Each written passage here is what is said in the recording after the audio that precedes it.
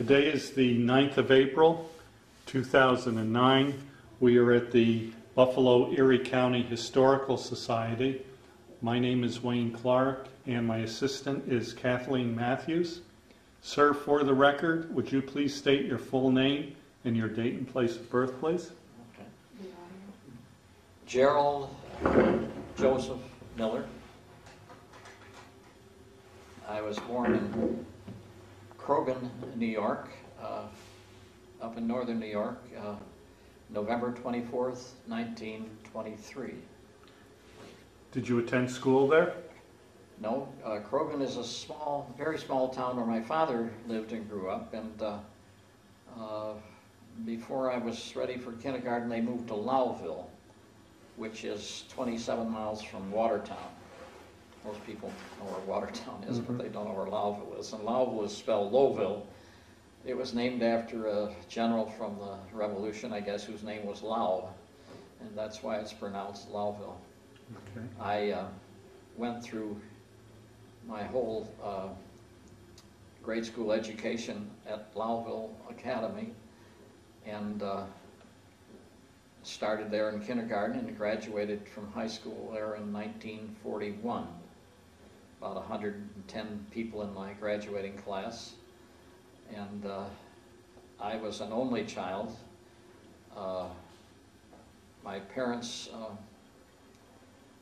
uh, would probably have had more children, but my mother had an ectopic pregnancy, and so after I was born, they weren't able to have any more children. Mhm. Um, But my high school graduating class was a great bunch of uh, people, and uh, we had a group back in Lowville who kept track of the members of the class, so we had uh, annual reunions every five years. And uh, so I know a lot about the other class members, and uh, especially the men who were in the service and so forth. Mhm.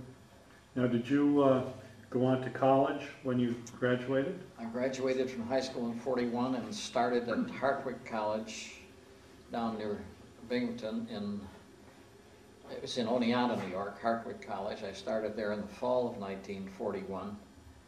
Uh, managed to get a small scholarship, which made it possible for me to go to college. And then, uh, of course, in December of 41, when Pearl Harbor was bombed, uh, we all became very much aware of our immediate future. And uh, uh, I finished my freshman year and then went back to Hartwick in the fall of 1942. And uh, by then, uh, all of the men in the school knew they were going to end up in the service if they passed the physical. And so they started volunteering for the unit they wanted, or the kind of service they wanted to get into if they didn't want to go in the Army. Mm-hmm. And so my roommate and I volunteered for the aviation cadet program.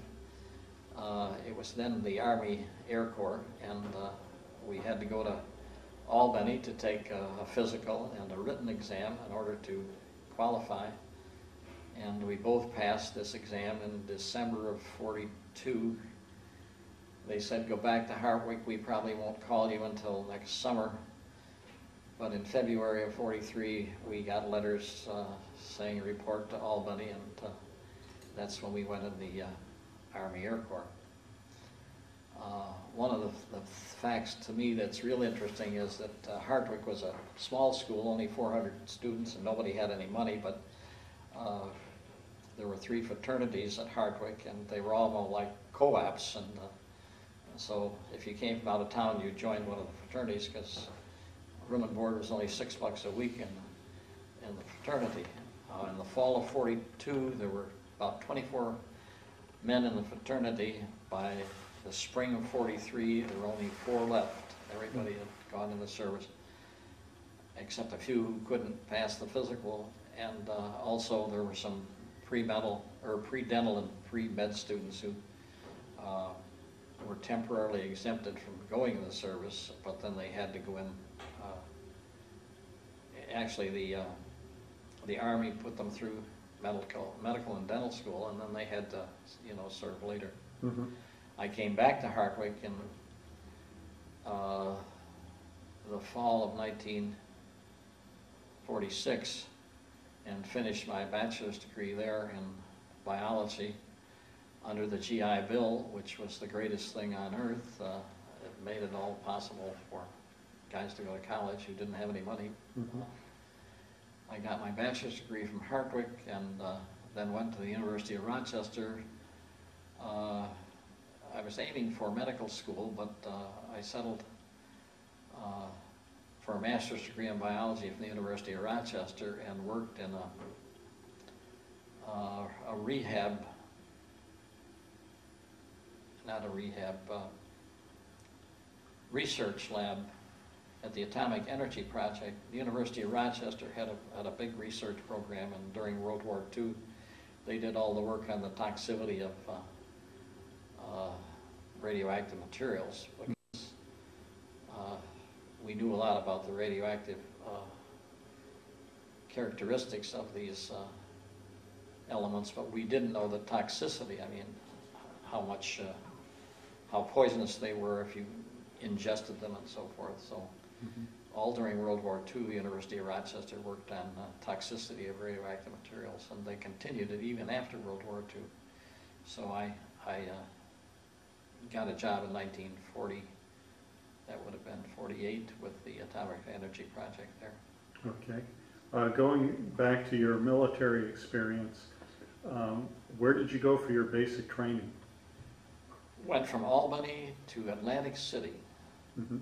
and uh, that was amazing because I hadn't really been anywhere uh, outside of Lewis County in northern New York until I went into the Air Corps.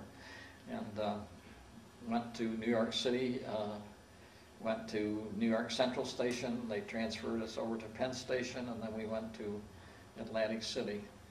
And uh, amazingly, at that point, the uh, Air Force had taken over all the big hotels in Atlantic City. Uh, I suppose this kept the hotels from uh, going broke, and uh, it, I was there in, in February, and Atlantic City in February was miserable. We Mhm. walked up and down the boardwalk and froze, and went out to a, a field outside of Atlantic City for physical education and so on, and marching and gunnery and so forth. Mhm. Um, From Atlantic City, I went to uh, a new program which is called College Training Detachment, sort of thing. They sent us to Springfield College. I went there with about 500 uh, cadets, and that was a new program. We were only there, uh, the 500 people were divided up into five groups, and the first group was only there a month. Uh, and the second group was there two months, and then they kept bringing in new cadets to replace the ones that left. And uh, Springfield College was an interesting experience. Uh, uh, Basically, that was a college for YM uh, people, people who wanted to go into the YMCA. And uh, all the students were gone, so the aviation cadets uh, were the only ones on the campus. And uh, obviously, that was a program that kept colleges from going broke. Um, From Atlantic, or from Springfield College, or at Springfield College, they gave us uh, 10 hours in the Piper Cub. We didn't get to solo in the Cub, we just flew in the back seat uh, at the local airport, and the uh, instructors were civilians that were hired uh, by the Army Air Corps. Um, And I got airsick every time I went up. Uh, it, we got 10 hours, which was about eight flights, and uh, Mhm. uh, I threw up in the, in the Cub every time I went up. Uh, Which made me wonder whether I was gonna be able to get through the aviation cadet program, because they didn't flunk anybody out at that point. You just got ten hours in a Cub, Mhm. and, uh, so from Springfield College, we went to, um, Nashville, Tennessee, where the aviation cadet program uh, tested everybody and made a decision as to whether you could go into pilot training or if you didn't qualify for pilot training, you could go into navigation or bombardier training. And almost everybody wanted to be a pilot, but uh, not everybody uh, passed the physical. Uh, a lot of the stuff that they gave you had to do with uh, manual dexterity and and coordination and so on and so forth. If you wanted to go into pilot training, you had to pass all these little tests that they had, funny little machines that tested uh, how good you were athletically and so forth. Mhm. Uh, I got through the pilot uh, part of it. And, oh, interestingly enough, I I wanted to say that uh, in order to get into the aviation cadet program, you had to be five feet four and weigh 115 pounds. And uh, I ate a big breakfast and I just made it. I was small at that point. I was still growing Uh-huh. Uh, very much. When I came out of the service, I weighed 135. Uh, Since then, I've added many more pounds. But um, uh, Nashville was miserably hot. Uh, That's what I remember about Nashville. We got a lot of phys ed and so on and so forth. But then from, from Nashville, we went to Maxwell Field, where we got uh, pre-flight, a lot of uh, uh,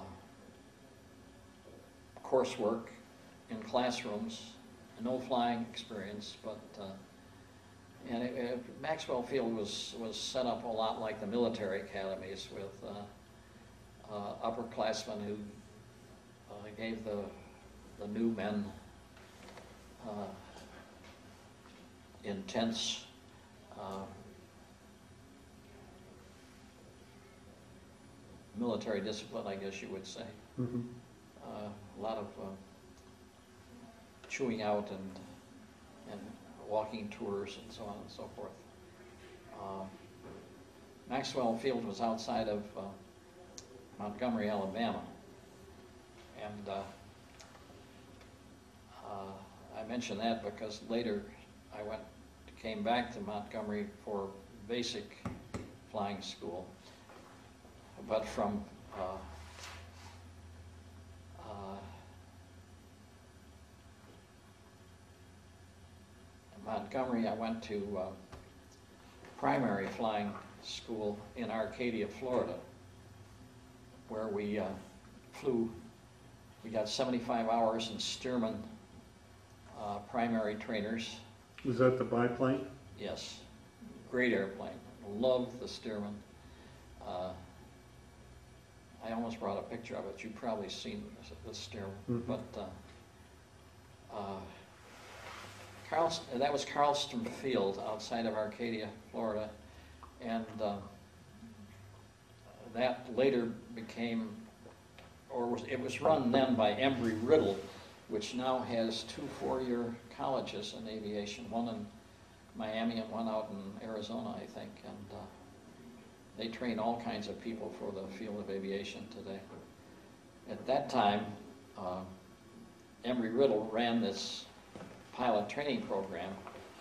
They had two fields, uh, one on one side of Arcadia and the other one on the other side, and uh, everybody flew Stearmans, and uh, you got uh, uh, Embry-Riddle hired civilian pilots and paid them to, to teach the cadets how to fly. But at the end of the first 25 hours, you got a military check ride from uh, an Air Corps, from an Army Air Corps pilot. Uh, They had a few that were stationed there just to give these check rides. And if you passed the 25-hour check ride, then you got 25 more hours. And then you had another check ride and so forth. And uh, we, uh, of course, the weather was beautiful there. We flew almost every day. But as I say, I just loved the Stearman. It was a pleasure to fly. Soloed after seven hours, I think, and and uh, course, uh, Carlstrom Field was just a, a small field, so in order to uh, give everybody practice landing and so forth, they had a bunch of auxiliary fields scattered just a few miles from Carlstrom.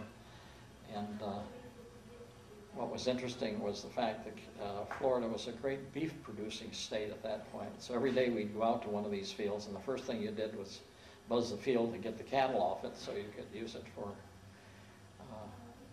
practicing landings. Mhm.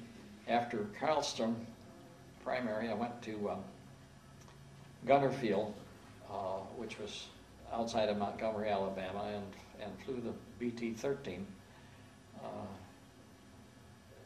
called the Vultee Vibrator. that was a single engine uh, plane with a, uh,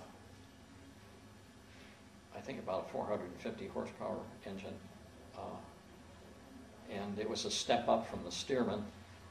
Uh, and you could do almost anything in that plane. Uh, as a pilot in training, you know, we had to do stalls and spins and turns and all kinds of stuff.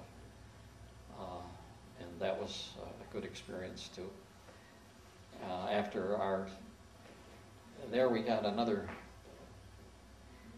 about 75 hours, and then from there we went to advanced flying school. And at that point, they had made a decision as to whether you were going to be a single-engine fighter pilot or a multi-engine bomber pilot. And, and I uh, managed to stick with a single engine, so I went to Craig Field in Selma, Alabama, and um, uh, that was advanced flying school. We flew the AT-6 Texan, which was another great airplane. There's still a lot of those around. And uh, in April,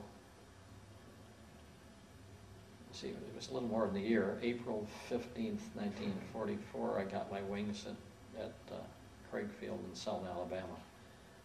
And uh, they, they let us go home on leave for a week, and then we came back to Craig Field uh, and got checked out in the, the P-40, which was uh, the same airplane that was used by Claire Chennault with the Flying Tigers, uh, you know, in, Mhm. in in China. Uh, The P-40s, we got our 10 hours and were really war-weary airplanes. They had been around and so forth. And, They overheated very easily, so they wouldn't let us taxi out. Uh, They would take the P-40 out to the end of the runway and then start it up, and uh, you got in it and took off before the thing overheated. Once you got in the air, it was fine, but uh, you really had to be careful with overheating. And I think that the two flights that impressed me the most uh, was when I first soloed in the Stearman, you know, the first solo flight, and then the first flight I made in the P-40, because at that point, they didn't have dual uh, Controls? uh, dual seats, you know, front and Mhm. back, in the P-40. You, you read about it for a week, you were told how to fly it and so forth, and then you got in it and took off. And the difference between the P-40, which was a real fighter plane, and the AT-6, a training plane, was just unbelievable, you know. You get to 10,000 feet and it seemed like no time at all. But the P-40 by then was an archaic uh, fighter. It wasn't, didn't have a supercharger, and it wasn't any good over 17,000 feet, you know, so uh, they stopped using it in, in a lot of places, although the British still had P-40s right up to the end of the war. Um, Am I giving you what you want? Sure. Okay. Um, We, um, we were then assigned to uh, what was called a replacement training unit, which was another uh, field in Florida, Punta Gorda. And there we got about uh, 200 hours in P-40s. We, uh, I was in a flight of 10 that trained together every day. And uh, we flew the P-40s, and although this was an archaic, an archaic fighter plane, as far as combat was concerned, the P-40 was really a, a very good airplane to, uh, good fighter plane, uh, as long as you didn't uh, try to take it over 17,000 feet. And uh, uh, so we flew almost every day. We flew ground gunnery and aerial gunnery. Um, uh, with the ground gunnery, they set up targets, and you went out to this this target field and flew a pattern, square pattern around the thing, and, and dove on the on the uh, target on the ground, and then pulled up and went around and, and did it again. Uh, that was fun. It was uh, good training, except uh, when you got into combat, you found out that you didn't have uh, this kind of neat little uh, setup to, to shoot ground gunnery instead of flying at a,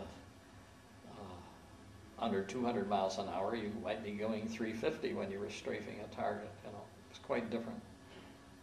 Uh, And then we flew aerial gunnery where uh, another plane towed a, uh, a we called it a sleeve, it was actually like a, a wire mesh thing with, uh, that had been sprayed with some kind of uh, textile, and uh, like five pilots would go up to do aerial gunnery, and each one had uh, uh, 50 caliber bullets with different colored paint on them. One would be red, one pilot would have red, one another would have green, another would have blue, so that uh, after you shot at this target, they could tell on the ground who hit it. Mhm. And uh, so we'd go up and trail along behind the, the plane that was pulling the target, and one at a, one at a time, we would take our turn going down and, and shooting at the, at the target. And uh, I love to tell this story because uh, most people don't believe it. Uh, but we would fly over the Gulf of Mexico, uh, bright, warm summer morning, and I'd fall asleep in the P-40. But interestingly enough, as soon as the nose dropped, you know, I'd fall asleep and the nose would drop, the sound of the engine would change and it would wake me right up. So it was, it wasn't dangerous at all, but it, uh, uh, and we got, uh, about, as I say, about two hundred hours in the P forty, and this was, this was a new thing. Because, um, we didn't get checked out in the kind of plane we were gonna fly in combat. We just got checked out in the P forty. And we didn't know where we were gonna go and, and so forth. And, as I say, I trained with a, a, a group of about ten, but there were, I don't know how many pilots were in, in other squadrons on this field. And, uh, in, uh, December of forty-four, they let us go home on leave for a week, and then we came back and they sent us to uh, Boston uh, to board a ship to go to Europe, and that was the first time we had any idea where we were going to go. Some of the pilots went to the uh, Pacific. I had a friend who ended up flying P-40s in China. Uh, But I went to England uh, on a small troop ship, and uh, that was an interesting experience because this was a, a ship that had been built for the Caribbean tourist trade, and it Mhm. wasn't built across the Atlantic. So we had to go over in a convoy, and uh, we had a few scares, but nobody, uh, I don't think any ship was sunk in our convoy by then. This, this was uh, December of 45, and, and uh, the Atlantic crossing was relatively safe. Um, I mention that because I came home later on the Queen Mary, and uh, anybody who went over on the Queen Mary didn't go in a convoy because the Queen Mary went over so fast, uh, submarines couldn't catch it. Mhm.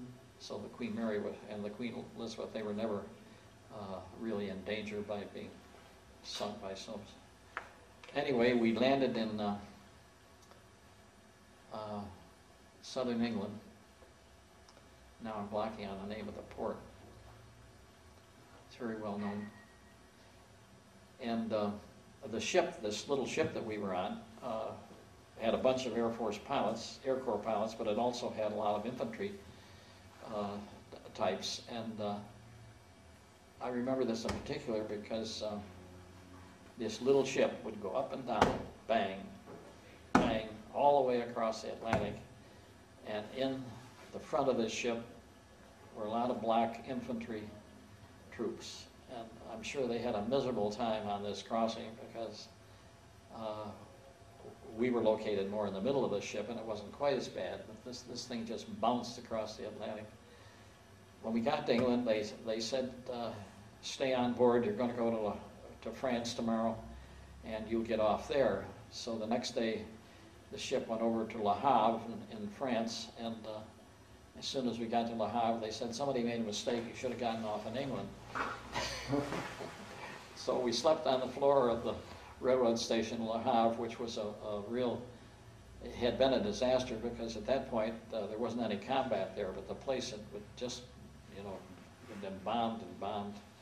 Um, We slept on the, on the floor of the railroad station. The next day, they put us on a train and took us to Paris.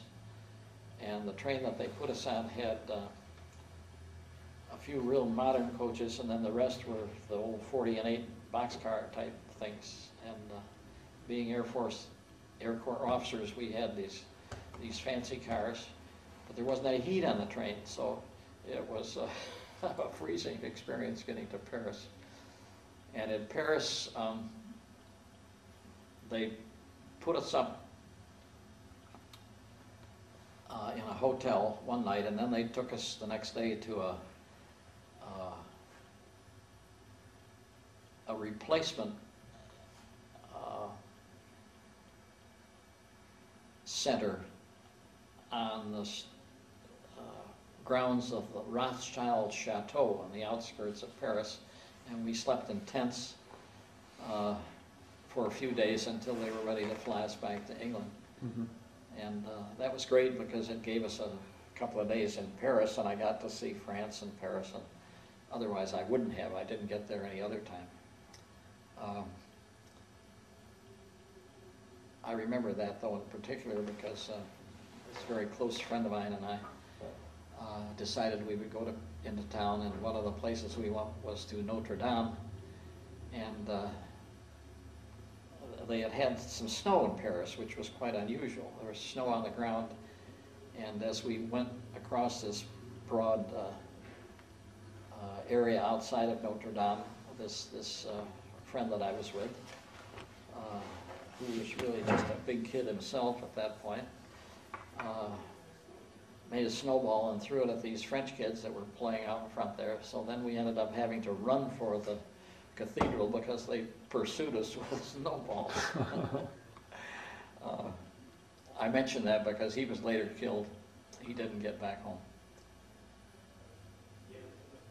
So as I say, within a couple of days, then they flew us over to England, and uh, uh, the war, of course, had moved out of Paris and that area and so forth, so you didn't really know there was a war going on. But Mhm. five minutes after we landed uh, in in England, we heard a V-2 go explode, you know. Uh, The, the Germans at that point were uh, sending V-2 bombs to, uh, to London. I guess I should explain that the V-2 was a,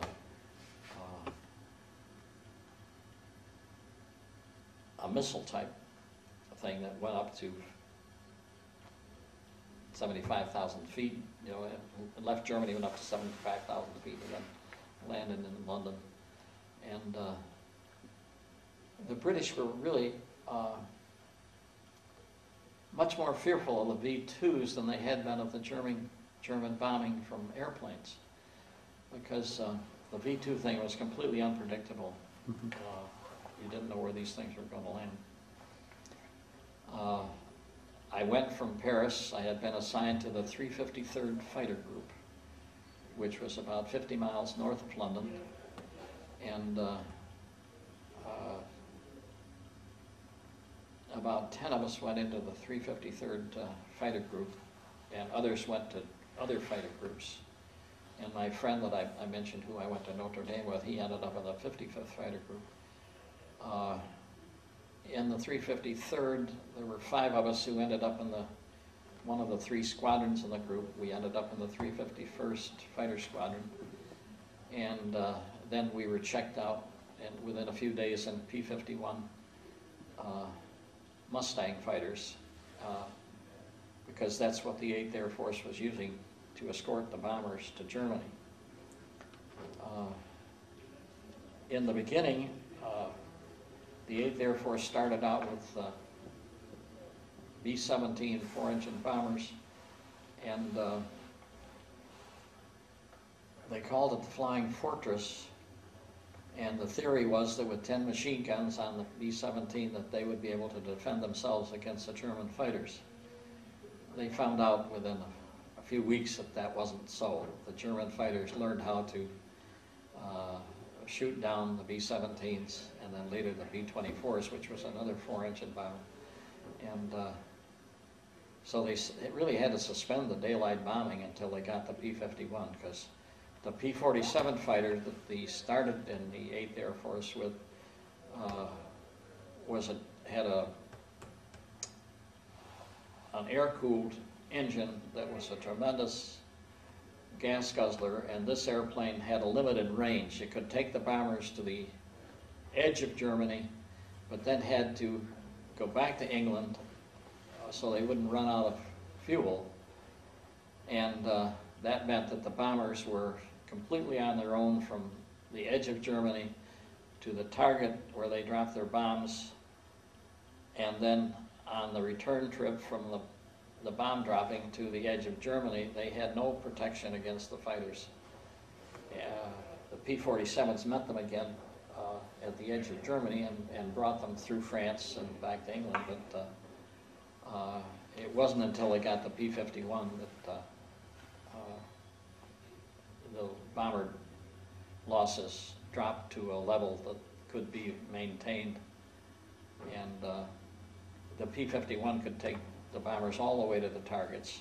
Now, did you have uh, an auxiliary tank on that aircraft? We had two, one under each wing, and that's what made the difference too. Uh, we had, uh, the P-51 had a big fuselage tank. It also had uh, a tank in each wing, inside each wing, and then we had an external tank uh, outside each wing that could be dropped. And the minute we got into any kind of combat uh, situation, that's the first thing you did was drop your external tanks. But, but there was a whole process here. When you took off on the P-51, you took off on a wing tank. As soon as you got airborne and could do it, you switched to the fuselage tank because uh, the fuselage tank was a big tank with 90 gallons of gas right behind the pilot, and it uh, uh, affected the center of gravity of the airplane, so you, you didn't want to get into a combat situation where you were uh, making sharp turns uh, with a full fuselage tank because uh, it would tighten up your turn. The, the center of gravity thing th threw the maneuverability of the aircraft off. Uh, so, so after you took off, you, you went onto your fuselage tank, and the P-51 uh, burned about 60 gallons of, of fuel an hour. And this was a night, the fuselage tank was an hour and a half, uh, 90 gallon tank. So by the time you got to Germany, uh, the fuselage tank was empty and you then proceeded to use your external wing tanks uh, so that uh, if you had to drop them, uh, you had maximized your range by using those external tanks. The longest mission I flew in the P-51 was six and a half hours and went all the way to, I'm blocking on the name of the town.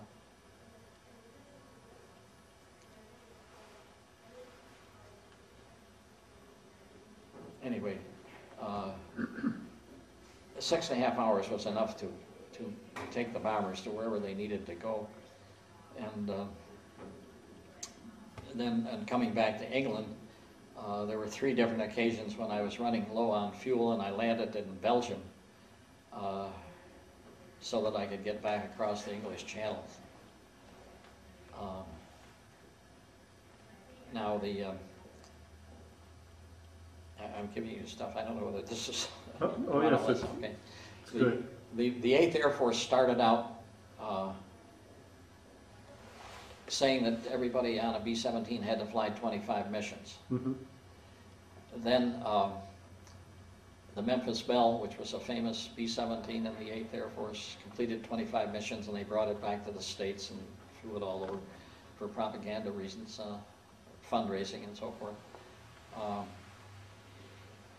then, the- as the losses uh, decreased, they increased the tour to 30 missions.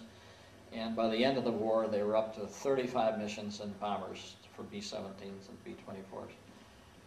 Uh, the tour in a fighter was calculated differently. It wasn't the number of missions, it was the number of, of combat hours that you had, because fighters frequently flew shorter missions to uh, targets that were not as distant. I mean, not all of our missions were escorting four-engine bombers. Uh, So uh, in- in the fighter, it was 250 hours uh, for a tour.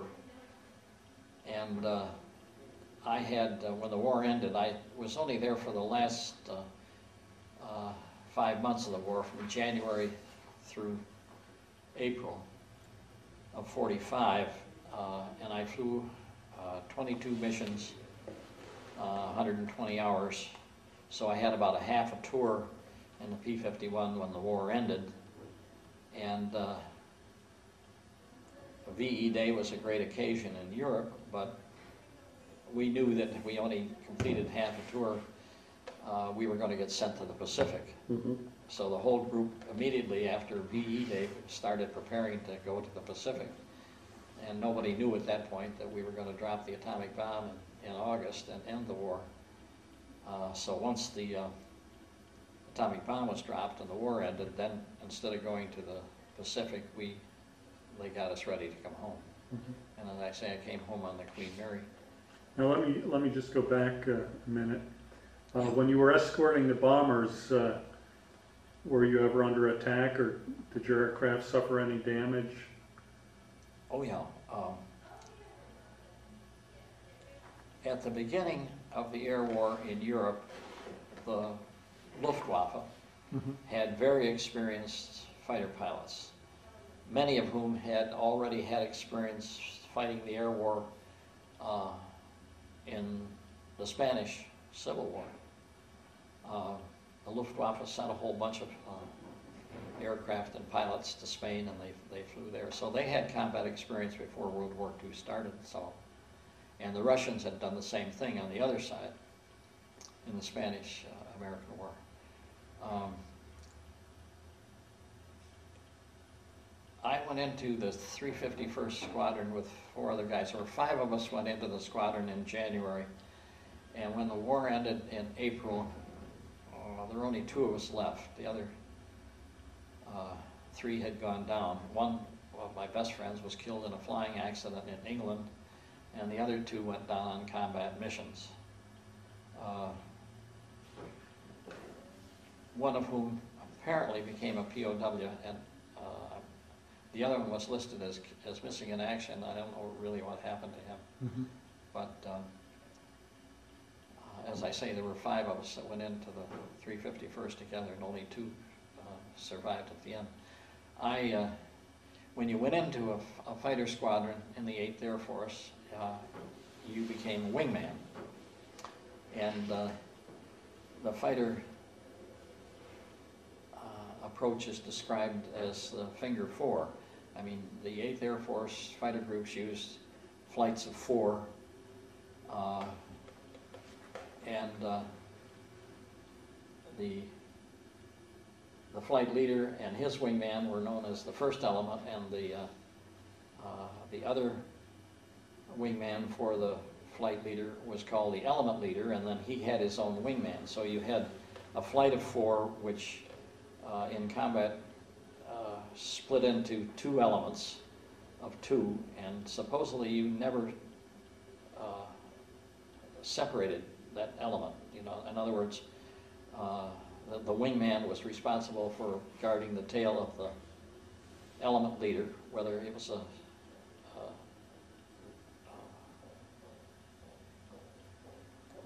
or the flight leader. And uh, if you were a, a, a wingman, you were obviously either a, a flight officer or a second lieutenant. And uh,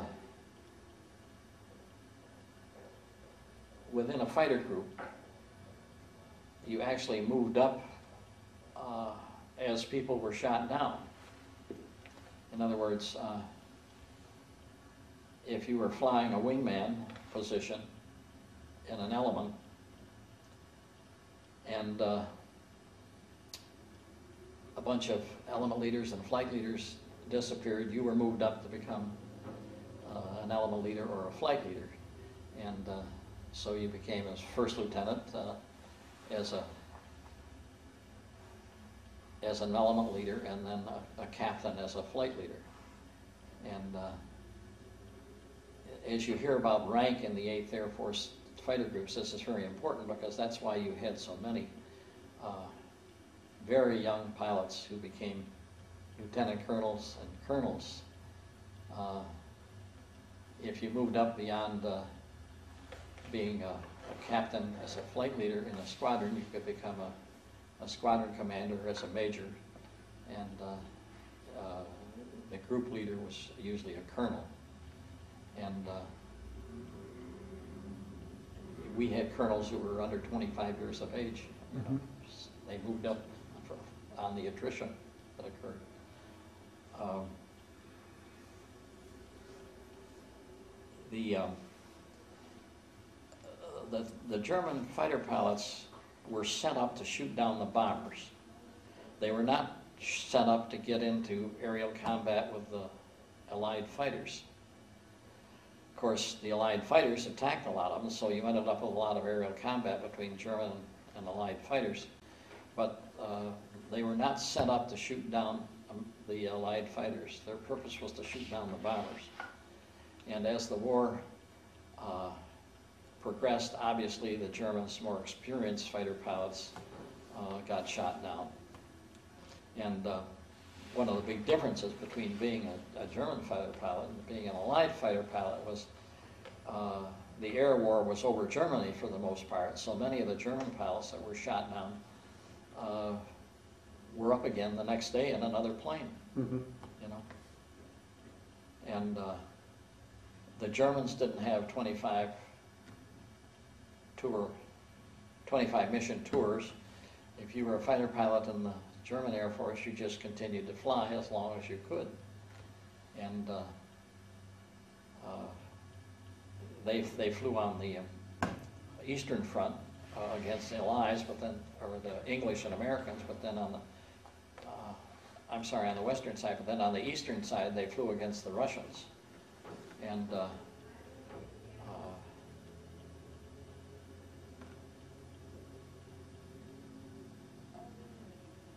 I was, um, I was looking at your sheet and so forth. I got the Distinguished Flying Cross uh, for one strafing mission where I uh, was given credit for destroying nine German planes on the ground. Uh, You want to tell us about that mission, how that transpired? Sure. Uh, uh, Toward the end, uh, they realized that uh, the important thing for the fighter squadrons of the 8th Air Force was to knock out all of the German fighters.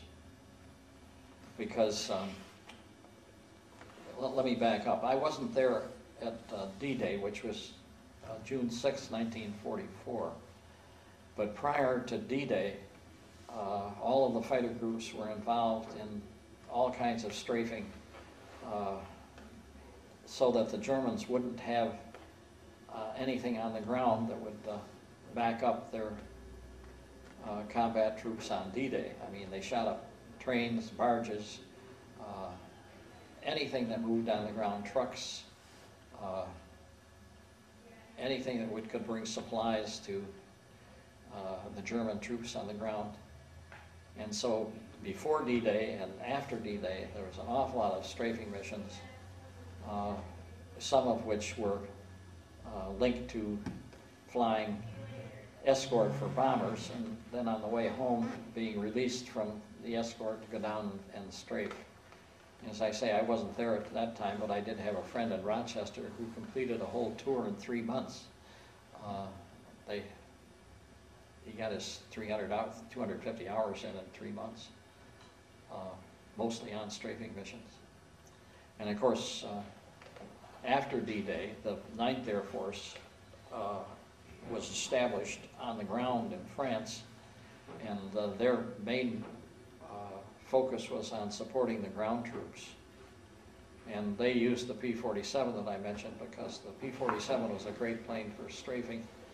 It uh, could take a terrible beating and still get back, uh, could get all shot up and so forth.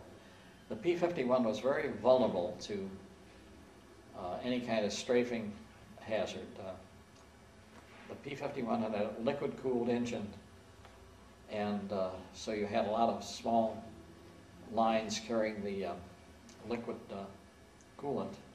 And if you got a, just a small bullet hole or flak hole through the, through one of these liquid lines, the P-51 would be, go down, go down in 10 minutes. I mean, you'd, you'd lose your uh, coolant and the engine would overheat and uh, stop running. Now, on that strafing mission, I was lucky because uh, I came back with uh, quite a bit of damage to the P-51, but fortunately, none of it had uh, affected my coolant system. And uh, one of the most uh,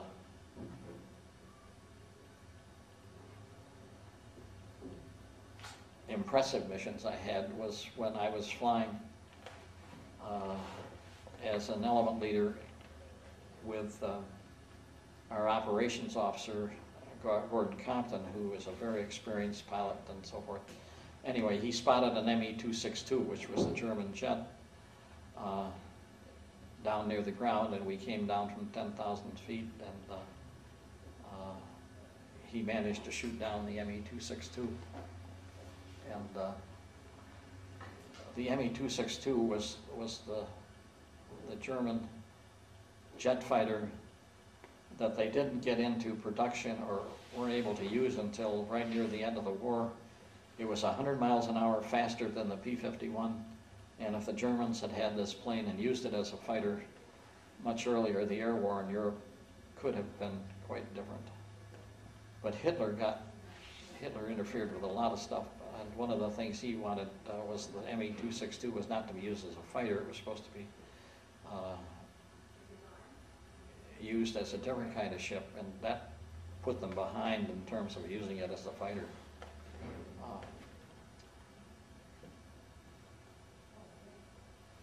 The, um, the problem with the ME-262 for the Germans was although this was a very fast airplane, it also had uh, a limited uh, time in the air because of fuel consumption. And most of the ME-262s that were shot down by the Allied fighters were shot down uh, when they were taking off from the field where they were located or when they were trying to get back to the field because they had to slow down. I mean, they, they couldn't fly 100 miles an hour faster than, than the 51 at that point. Now, in our Western, we have a Western New York chapter of the 8th Air Force Historical Society, and uh, I didn't get really involved with the veterans organizations until I retired from my full-time job. I was a professor at UB, and then I got interested in the veterans organization uh, after I retired and, and so forth. Uh, at that point, we had about 90 members. Now we're down to less than 50. Uh, and most of our members are bomber uh, people. Uh, we only had a few fighter pilots, uh, which is understandable because the bombers had 10 men on each plane. The fighters only had one. Uh, we had a few, uh, not all of our members were flyers. Uh, you, uh, I know you interviewed John Hefner yesterday. John was a crew chief in the 4th Fighter Group. And, no, I'm sorry, he was in the 357th Fighter Group, which was the same fighter group that Chuck Yeager was in. And, uh, uh, Yeah, he, he was an armorer. yeah, he was an armorer in the 4th Fighter Group. Or in the 357th Fighter Group. Now, when the, uh, when the war ended, did your, your mission stop or did you continue to fly like training missions or? Oh, yeah, we started flying stuff that would prepare us to go to the Pacific, you know. Mhm. including some night formation, which was uh, a horrible thing. Uh, a- In a fighter, flying formation at night is, is horrible because you uh, can't see anything and uh, it's very difficult to tell where you are most of the time. Uh, In the Air Force, still the Army Air Corps then, in order to get your flight pay, you had to fly four hours a month. Mhm. And that's still, I think, the policy in the Air Force. If you're going to qualify for your flight pay, which is fifty percent uh, more pay than you get if you don't fly, uh, you have to get your flying time in. So we, we always flew at least four hours a month, and uh, uh, we all liked to fly, so that was no deal. I, I didn't fly the P-47 in combat, but uh, they had a P-47 that you could get checked out in after the war ended in Europe, and I got checked out in the P-47. Uh, And uh, I used to, um, I was very interested in photography, so I used to hang around the photo lab. Every, every air base had its own photo lab because uh, each fighter had uh, gun cameras. Mhm. Whenever you fired your guns, this gun camera would take pictures of what you were hitting. And uh, when you came back, that was the first thing they did was take your gun, ca- if you'd done it, if we were in combat, they'd take your gun camera film out and it would be set up, uh, I don't know, maybe 50 miles from the air base to where it was uh, processed by this big photographic unit that the 8th Air Force had. And, and the next day you'd get your fighter film back to document what you thought you'd done and so forth. And uh, every pilot, uh, I think they made about six copies of the combat film. Every pilot got a copy of his own combat film, so I still have that, uh, you know, from World War II. Mhm. What was your uh, favorite plane? And uh, I know you like the P-40, but uh, did you develop a fondness for the P-51? Oh, the P-51? P-51 was, a- everybody loved the P-51. I mean, you could do anything in a P-51. You could go to 25,000 feet Mhm. and so forth. I mean, it, uh, whereas the P-40 was a good airplane to fly, but it wasn't a good airplane for aerial combat after the early part of the war. Uh, Did the uh, P-51 have any, any unusual quirks or characteristics that you had to be wary of, like, like some of the other fighter aircraft? uh, Flying a fighter was dangerous. Mhm. you know, there were a lot of accidents. Uh, We lost pilots who had engine problems, uh, who hit the ground, who hit trees. Uh, I have a book uh, which lists all of the fighter losses of the 8th Air Force. And uh, it's just amazing what some of these accidents were. I mean, there were mid-air collisions and uh, and planes didn't get back across the channel. They ran out of gas and ended up in the water. Uh, the fighters were not all downed by enemy aircraft, you know. There were all kinds of things that went wrong.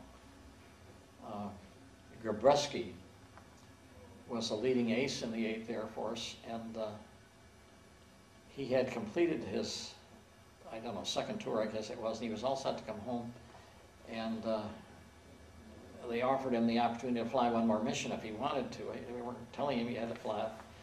And uh, he'd been so successful, I guess he wasn't afraid to fly another mission. And uh, on this mission, uh, they did some strafing, and uh, uh, he made an error in judgment and hit the ground with his propeller. Well, as a result of that, he ended up as a POW for about a year. And if he'd just gone home, he wouldn't have been a POW for a year. Gabreski was an amazing uh, fighter pilot because he also stayed in the service and uh, became an ace in the Korean War, Mhm. you know. I think he was a Medal of Honor recipient too, wasn't he? I guess he was, I'm not sure of that. But, uh, I don't know, this, this may not be appropriate for this, but uh, at that point, Governor Rockefeller uh, wanted somebody to head up the Long Island Railroad, and I guess he thought somebody of Polish extraction would be politically wise. He made uh, uh, the CEO of the Long Island Railroad, and, that was an administrative disaster for Gabreski because he really didn't know how to to administer anything like the Long Island Railroad. Mhm. Um, I met Gabreski once. Uh, great pilot, you know, great Air Force pilot. but not a great railroad administrator. Now, when the war ended, uh, let me go back uh, a little bit. Do you, re- do you recall uh, your reaction and possibly where you were when you heard about the death of President Roosevelt? Well, see, Roosevelt died before the war ended. Right. He, he uh, died, what, a couple of months before the war ended. I ended. think he died in April. Well, see, the war, yeah, I flew my last mission in April. It was just a few weeks before. Okay. And uh, everybody was, as far as I can recall, everybody was very depressed by Roosevelt's death because he had been so important Mhm. and uh, seemed to be such a great leader, you know.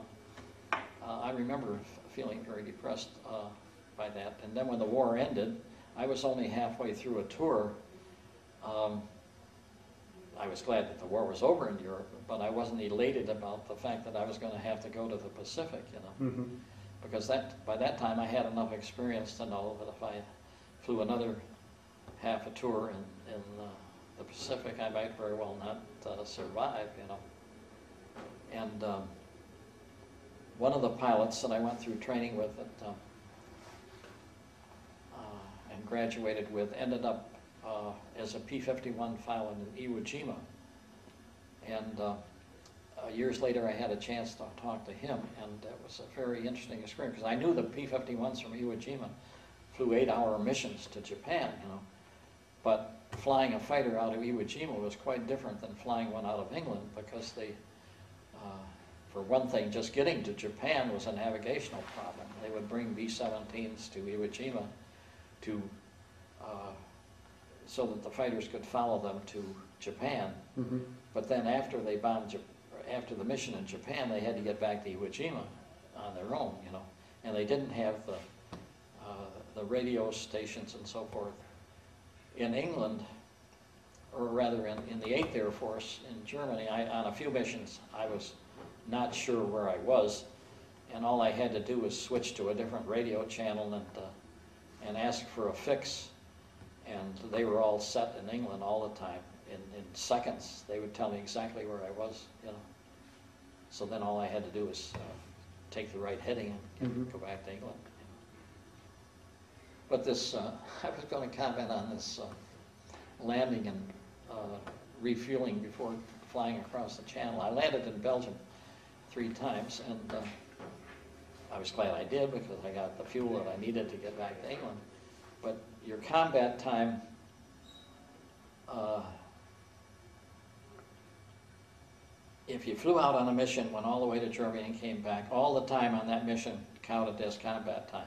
If you landed in Belgium, the time that you needed to get back to England was not counted as part of your combat time. So you didn't want to land in Belgium unless you absolutely had to. Mhm.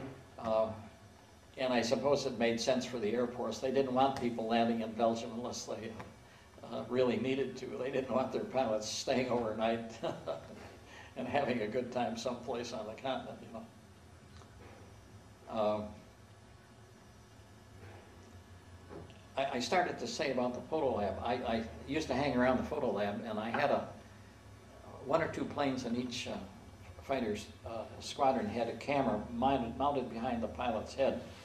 And I was lucky enough to have one of these in my P-51. Uh, and it would take pictures about this angle. Uh, but you couldn't really aim the camera. You couldn't look through the camera sights. You just had to know that that's about where the camera was pointed, Mhm. and it took a big enough picture. So uh,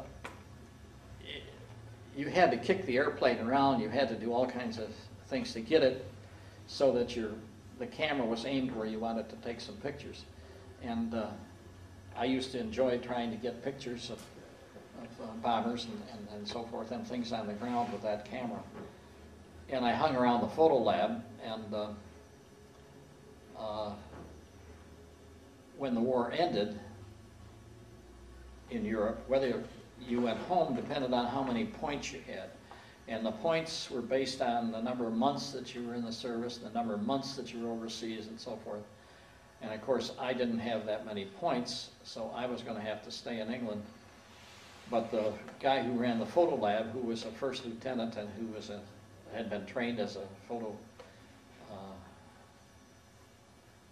lab uh, director and so forth. Uh, He called me down one day and he says, how would you like to be photo officer?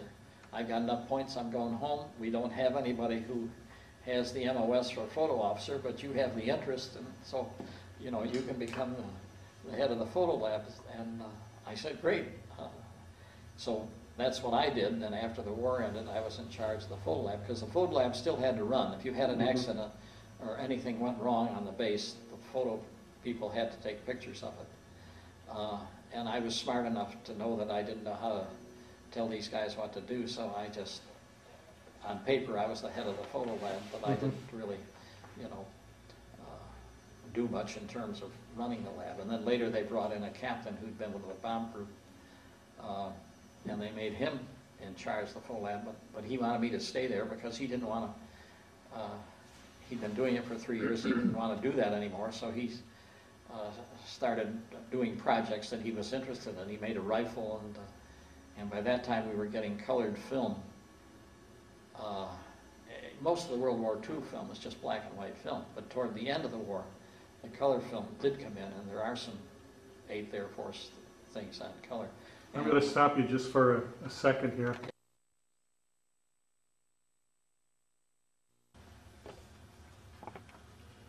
Okay, we're rolling again.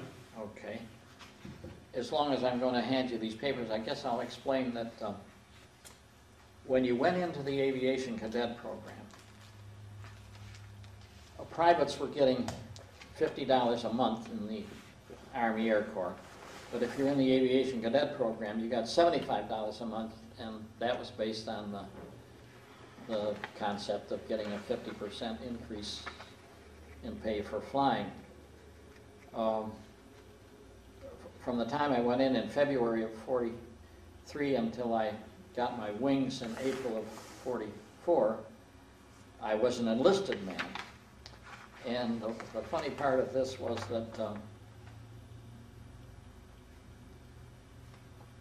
in order to make you an officer, after you got your wings, they had to discharge you as an enlisted man. So I have my enlisted discharge, April, I don't know what the date is on there, 40, 14th or Uh, let's see. 15th? April 19, 15 April 1944. Okay, the sa- the same day they discharged you as an aviation cadet private, they then swore you in as a second lieutenant, April 15th, 1944. Okay. became an officer. Now, um, at the beginning of the aviation cadet project, I guess everybody became a second lieutenant, but then they decided they were going to get too many second lieutenants, so they set up the rank of flight officer, which was uh, comparable to the Army uh, rank of, um, I want to block on that, Like a first lieutenant? no, it's less than a Oh, like a warrant officer? warrant officer, yeah. See, it wasn't a commissioned rank. It- Mhm. Warrant officer is not a commissioned rank. It's the top of the enlisted rank. So they set up the flight officer thing, and uh, uh, much to the frustration of, of some of the guys who were about to graduate, instead of making those second lieutenants, they made them flight officers. And uh, I guess this fit into the whole business of the, they wanted officers who were uh, top-notch and uh, at the beginning of the war, they wanted people who'd been two years in college and so on and so forth, you know, well, they couldn't maintain that, so they, they dropped that requirement. But uh, I'm, I'm pointing that out because it's very interesting, most people don't know this. Uh,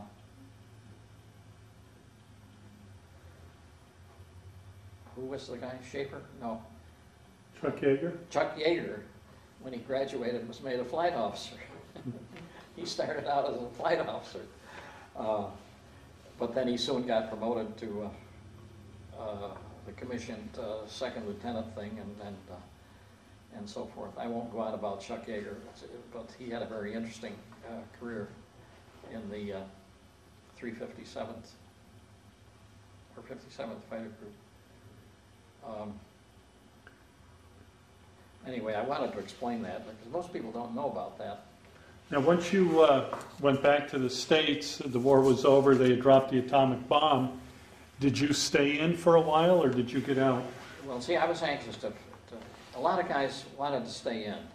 Uh, I was not interested in, in full-time military career. I loved the flying, but I wasn't that crazy about, you know, the military uh, part of it. And uh,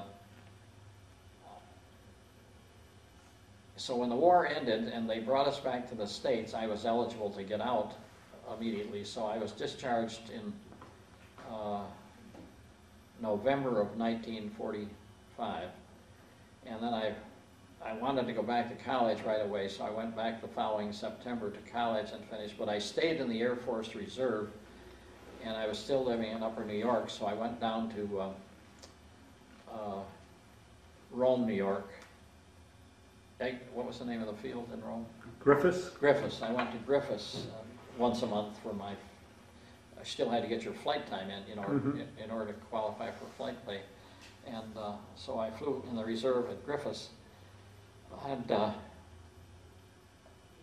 then as I finished my bachelor's degree and got into graduate school, uh, I was just finding it too difficult to keep up with graduate school and run back and forth to Rome and so forth. So I finally uh, resigned from the reserve.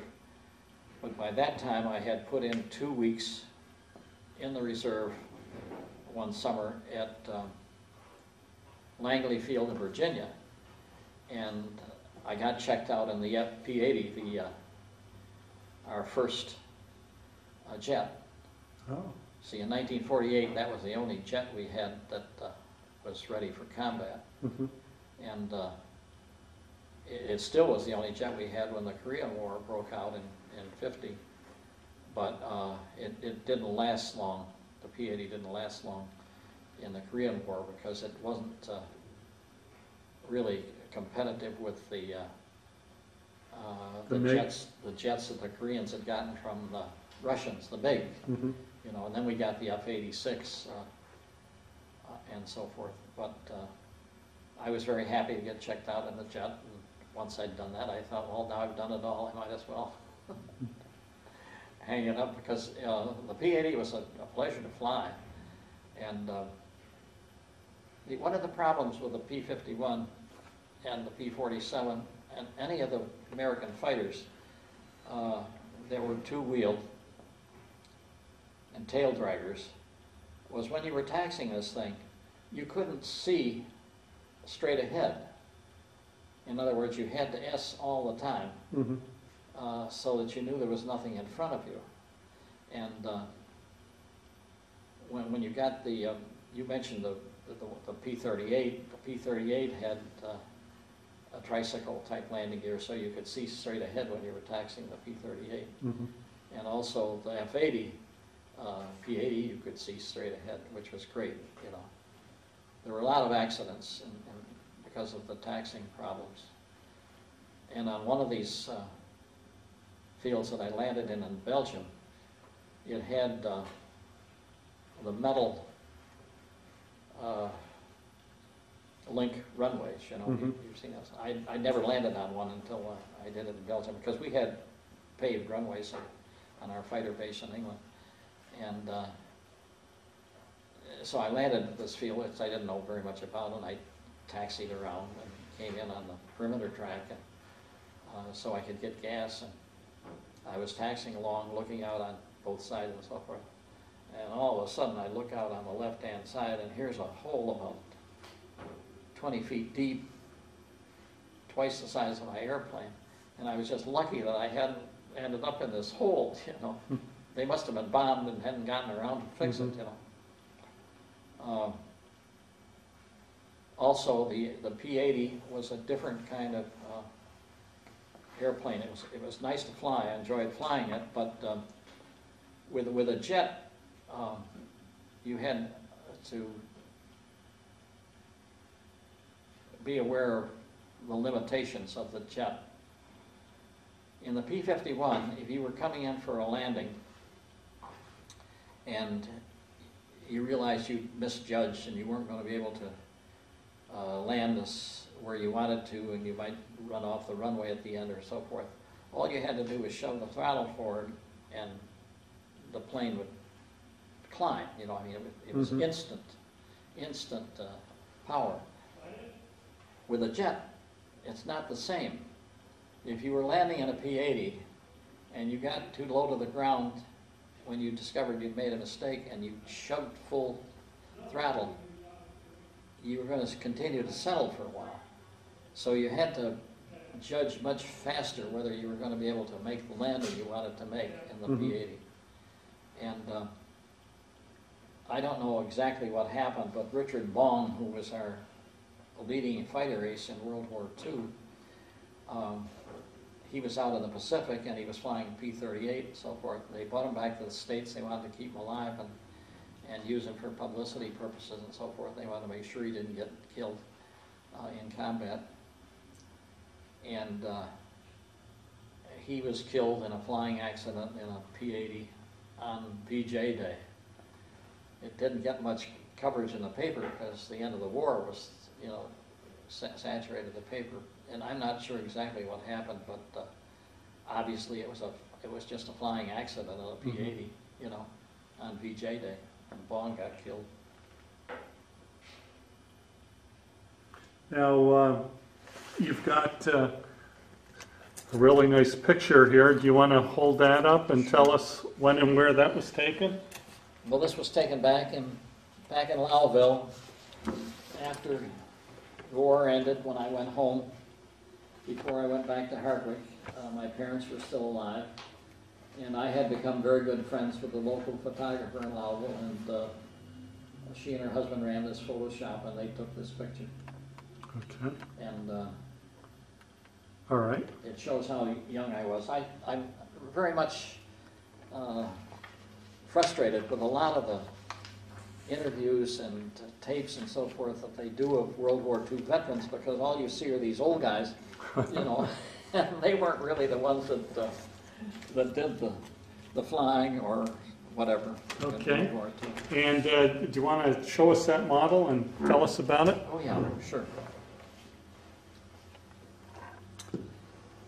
This was not my airplane. Uh, it's, it's got the painting of a different P-51, but this is what the P-51 looked like. And this was the P-51D, which had the bubble canopy, the famous bubble canopy, which was uh, so great because you could see, you know, out the back of the plane on both sides whereas the earlier canopies used to have panels, and you just didn't have that kind of visibility.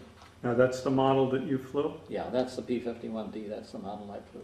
Now, did you normally fly the same aircraft every day that you flew? Yeah, it's a good question, but um, you have to realize that when a, a new pilot comes into the squadron, he's going to fly wingman, Mm-hmm. and he's going to fly any plane that's available because he hasn't had a plane assigned to him yet.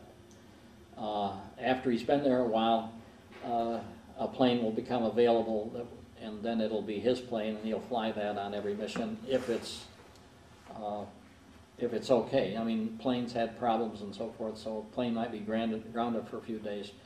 Uh, just because you had your own plane uh, doesn't mean that you always got to fly it, you know. Mm-hmm. And uh, interestingly enough, this doesn't have my squadron uh, insignia on it. This is from a different group and so forth. But uh, uh, the plane, the plane in the Smithsonian Museum in Washington D.C. has my squadron markings on it. And uh, I knew the pilot that, that flew that plane. Mm-hmm. He just died this ca- past year of cancer. Yeah. What were your uh, squadron colors or markings? Uh, What did I bring?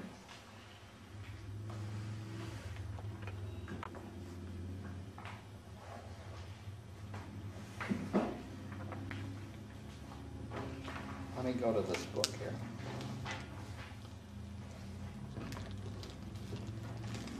You said that you were familiar with this. This is the the Mighty Eighth Yes. and it's one of the books produced by Roger Freeman, who was the real historian for the 8th Air Force, and he wasn't an American, he was actually an Englishman, and uh, he lived on a farm next to a,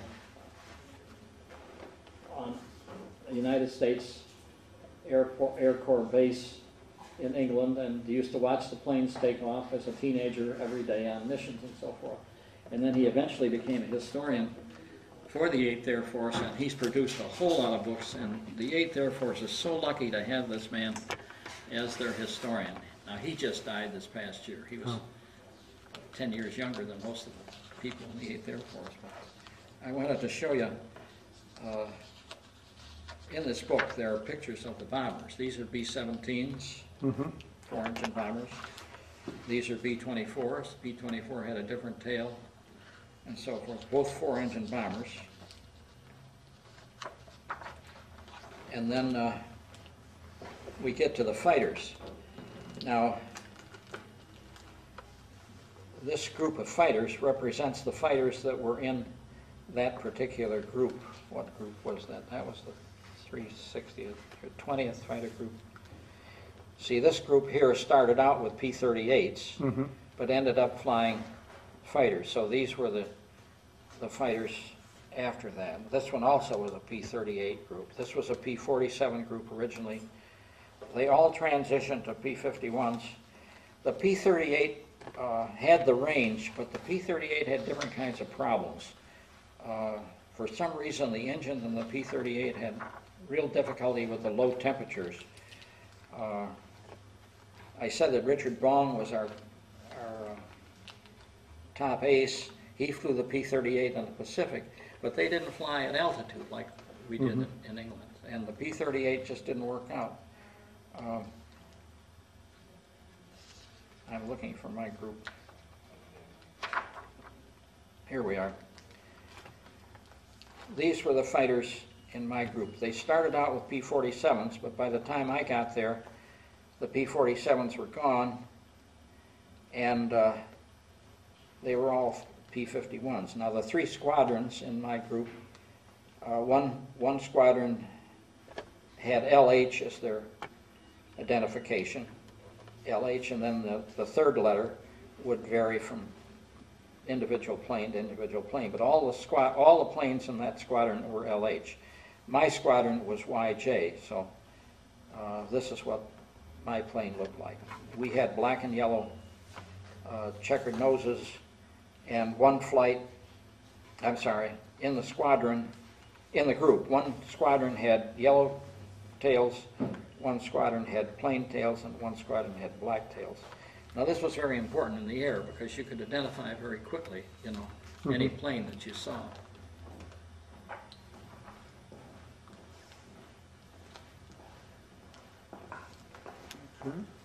Okay, I guess that's enough of that, huh? All right. Now, how do you think uh, your time in the service changed or affected your life?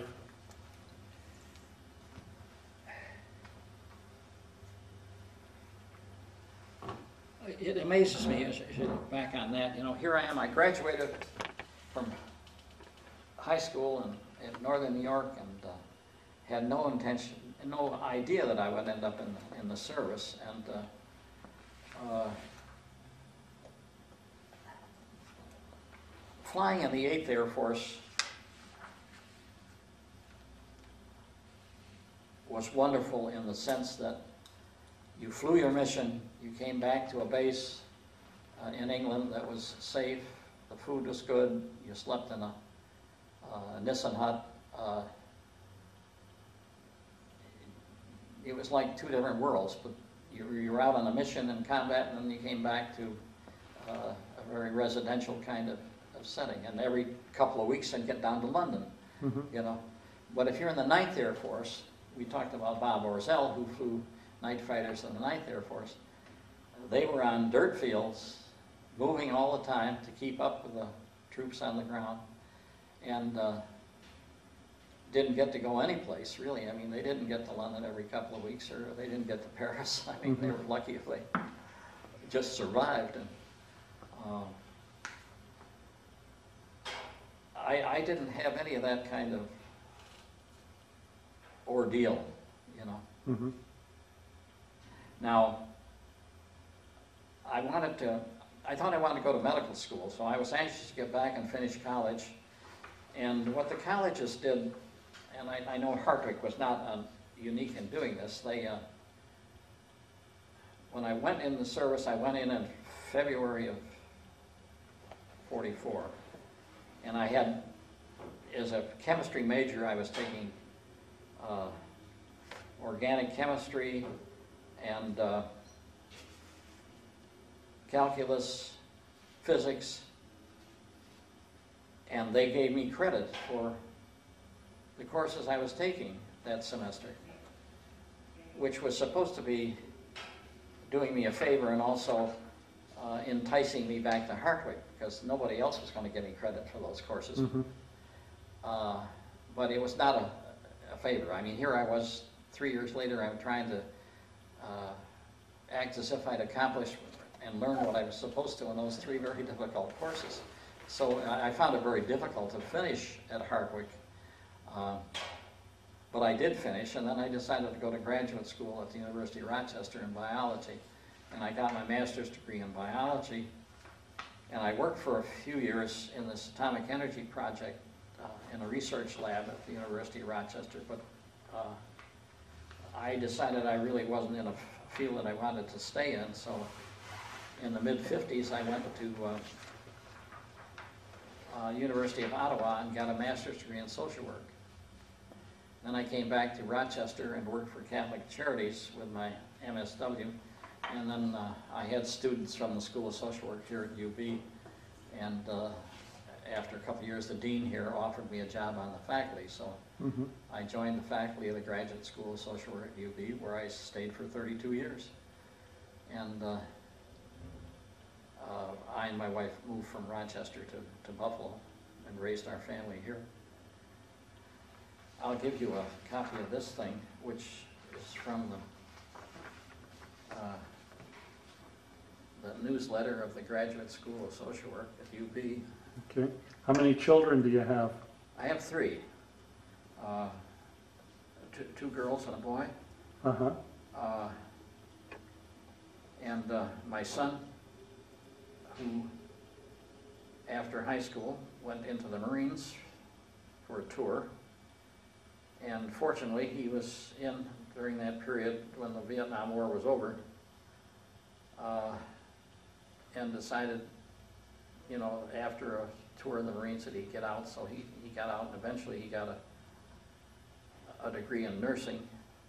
I have a daughter who has a PhD in psych, child psychology, who's on the faculty of the medical school in uh, University of Kentucky. Uh, she's not an MD, she's a PhD, but Mhm. she's interested in research and, and part of her job is to keep all the MDs doing research.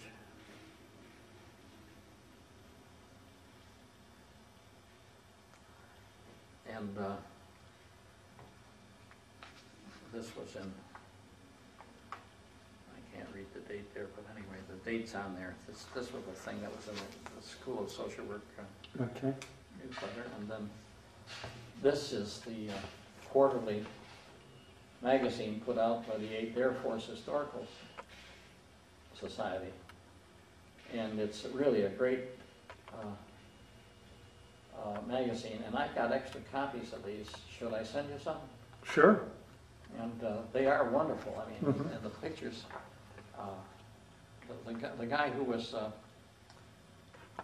uh, the editor of this magazine for years was a, a kid who grew up as an Air Force brat, then became a doctor, uh, and uh,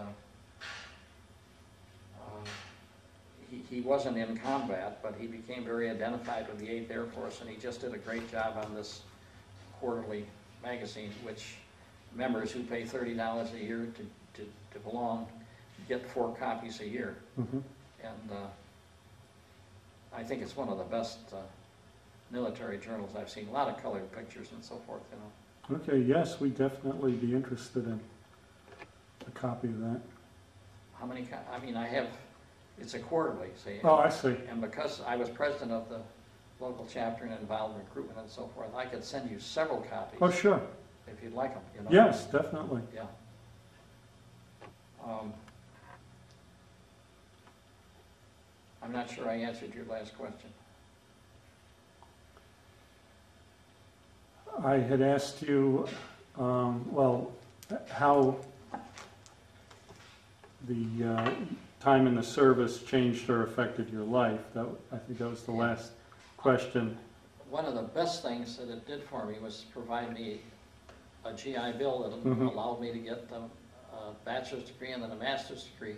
Actually, I paid for my MSW in social work myself, but, uh, you know, the GI Bill was a wonderful thing, Mhm. you know.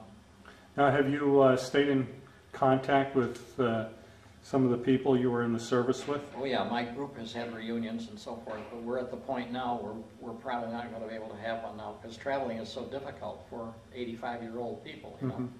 The air travel is a mess, it's just, I mean, I went to one reunion, I, I was on the board of the, of the National, and, uh, went to national reunions, which was fine, but then, uh, I had to go to one reunion down in,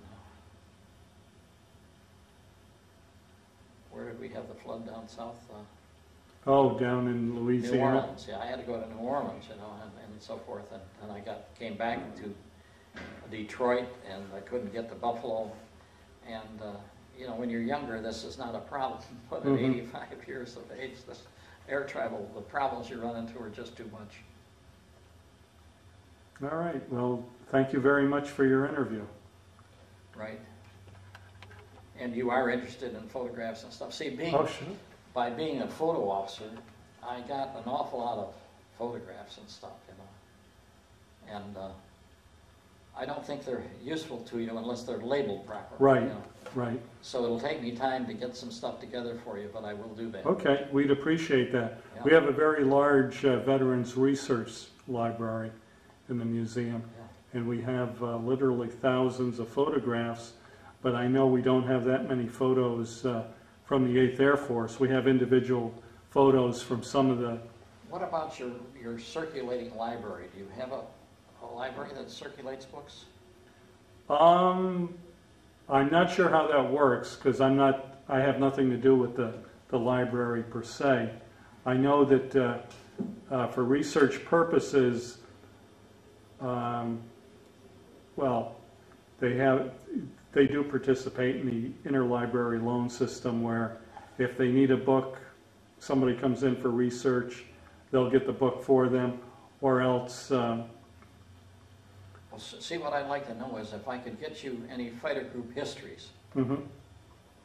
Uh, I know they, they've got a few of them that have been donated by individuals, but uh, I, I know there's only a few of them, not very many. See, and I- if I, if I donated one, I would want it to stay there for research purposes. Oh, yes. Not to circulate, see. Oh, no, it- they're they're normally not circulated.